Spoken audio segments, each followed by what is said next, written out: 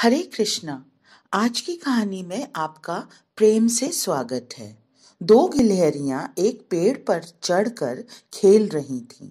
एक गिलहरी को भगवान पर पूर्ण विश्वास था, श्रद्धा थी।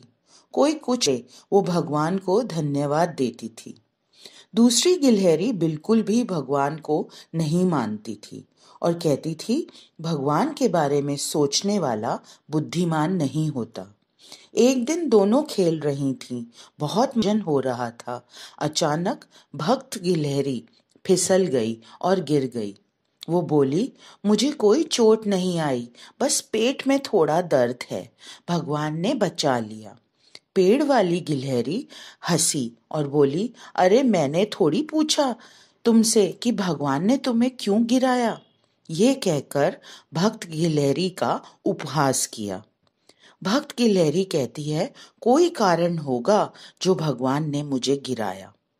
वो आसमान की ओर देखकर, आँखें बंद कर कर भगवान का धन्यवाद करने लगी। जैसे ही आँखें खोली, उसने एक भयानक दृश्य देखा। पेड़ की गिलहरी के पास एक सांप था। बातों में और उपहास में उसकी आवाज़ नहीं आई। सांप ने पेड़ की गिलहरी को निगल लिया।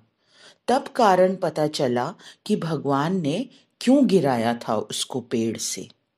कभी कभी जब हम ठोकर खाते हैं तो ये दुनिया उपहास करती है, परंतु हमें भगवान पर पूर्ण विश्वास रखना चाहिए कि हमारी भलाई के लिए हो रहा है।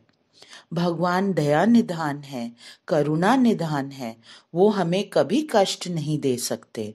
हमें सदा भगवान का धन्यवाद करना चाहिए। सर्वम श्री कृष्ण अर्पणम।